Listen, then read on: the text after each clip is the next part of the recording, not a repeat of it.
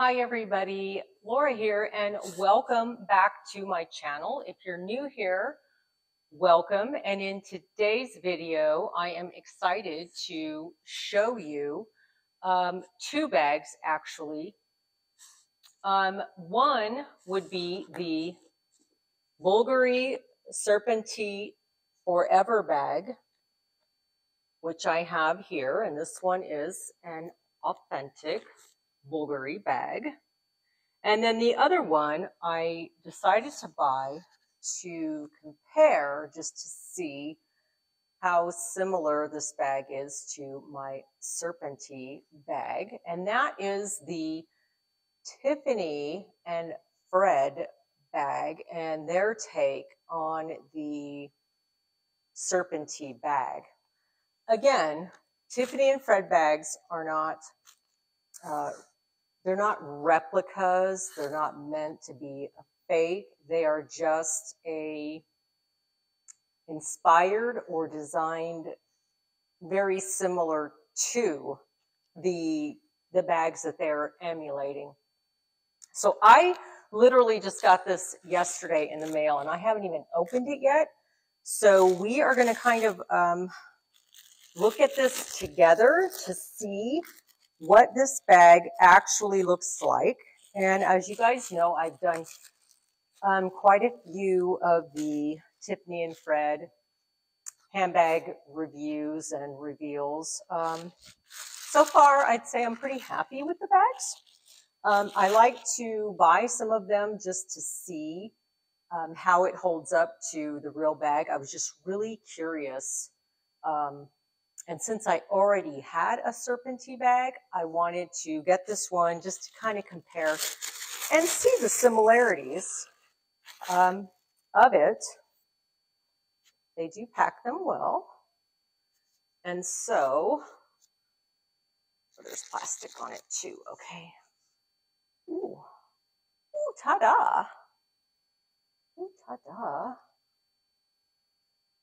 Um, very pretty. Okay, my first impression so far is um, it's a very pretty bag. Um, let me try to get some of this. They cover the they cover the handles very well with um, with protective plastic and so forth. Let me try to get all this off here. Okay, so it took me a few minutes to get the wrapping off of the chain. Okay. Um, at first sight, um, I will have to say, very extremely similar. Okay, extremely similar. So let's start with my actual um, Bulgari Serpentine Forever bag. And this one is a leather um, embossed bag. And the the snake head clasp is enamel. This is all done in enamel, very well done. Um, the inside, the inside, of course, I always keep these satin pillows in all of my bags to keep them shaped well. The inside. Now, I, I do like this bag, um, but but the only thing I really don't love is the clasp is a little temperamental sometimes. It won't close. It's you have to really kind of push on it to really make it clasp. Not a fan of that. The other thing is, is it doesn't always stand. Whenever you get a handbag with bottoms like this one, as you can see with the pleats here, Chances are, after a while, if it does sit, these tend to start to fold inward, okay, causing the bag to topple over. So um, I like to keep this one laying flat when I am storing it so it doesn't get more bent. But that is the one thing that I will have to say that I, I don't love um, about the design. The very sleek design. It holds, I mean, it's a beautiful looking bag. It really is. And I like the fact that you can adjust, you can adjust it down. So it is a it is a nice bag. I will admit. Um, I did buy this one pre-loved because I really uh, I wasn't sure if I would totally love it. Um, the reason why I even bought it was because we were actually at the Bulgari Hotel in Milan and loved it, loved it, loved it. It was gorgeous, um, serpentini stuff everywhere. Um, so I decided to buy this just to see. And again, pre-loved, got it at a decent deal, um, under a thousand dollars. So, I mean, you can find these on the pre-loved market fairly readily. I usually find them on the Real Real. That's my favorite place to go scope them out. This is the only one I have right now. I don't know if I'll get another one or not. I really don't. That's why I was really wanting to test out the Tiffany and Fred bag. And again, under $200, um, I got this one. And again, same design. This one is smaller, however. Like I've told you, the Tiffany and Fred bags will be the smaller versions of some of the bags. Now, Bulgari does make these in this size. They do. Um, and they're crossbodies. So they, they are this size actually. Uh, I prefer a little bit larger bags, but I just wanted to see out of curiosity um, what this would be like. And it is embossed leather, painted, and also enamel on the on the uh, the serpentine head. Let's see what the inside looks like. Again, you get your dust bag. Okay, inside is the same as the Bulgari bag. I mean, it's everything except you don't, of course, don't have Bulgari down here on the bottom. The chain, very similar. Um, weight-wise on the chains, um, the Bulgari one's a little, a uh, little bit heavier. I will have to say, little, little bit. Um, this one, you know, it's cute. It's cute. This this would fit a phone definitely. Um, my wallet, mm, probably not my wallet personally, but it would fit your necessities for sure. And um, oh wow, the clasp on this one is is more um, magnetic than on the Bulgari. This one you have to just really that's what I hate. You think you got it, it clicks, and then it doesn't. You have to really push it. I actually like the clasp on this bag better because it is magnetic. And you can just kind of do that. It's like boop, boop, closed, closed. So um, I like the finish. I do. It is leather. So you know what? I mean, I'm actually I'm I'm impressed. I wish they made. I really wish Tiffany and Fred would make bags in a little bit larger sizes. I really wish they would because I would definitely buy a ton more.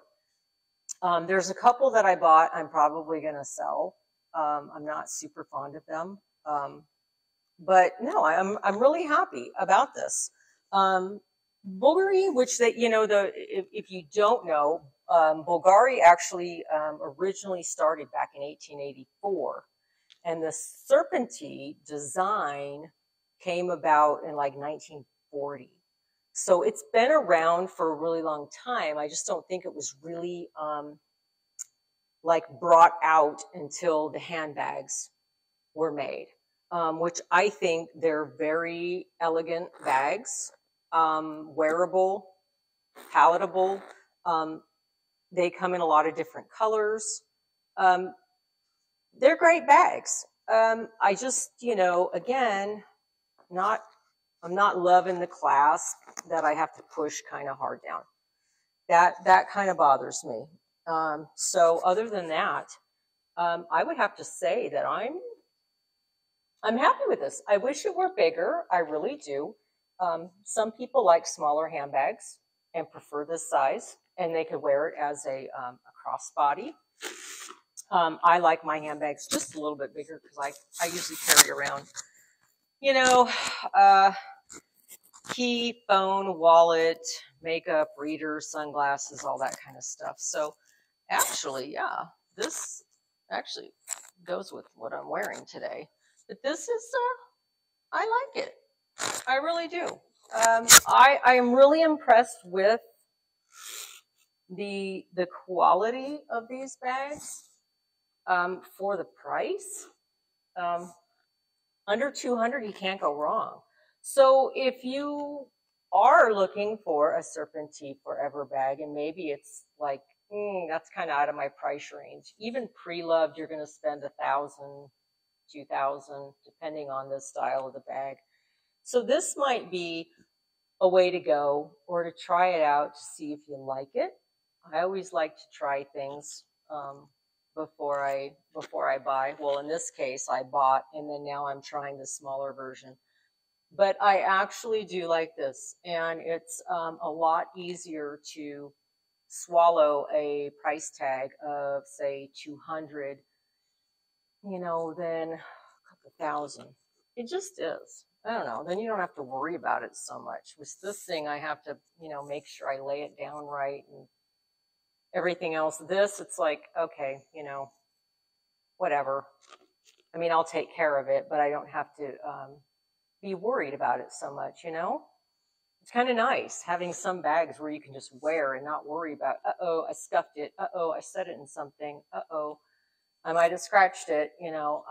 It, it gets, it gets really crazy, annoying. So, um, in comparison, guys, you know, I know my, this purple is a beautiful color. I do love it, and that is why I bought it, because it's a beautiful color. But in comparing these two, you know what? I don't know. I, I, I would say there's a little bit of difference, of course, but not enough to make me say, ew. You know, again, this isn't meant to be a replica. This is just a bag that is just spot on similar style of the Bulgari Serpentine bag. So um, that being said, I'm impressed.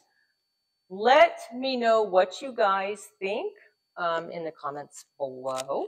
And um, let me know. I, will probably be doing more of these as well. Um, maybe even with different, um, may not even be Tiffany and Fred. I don't know.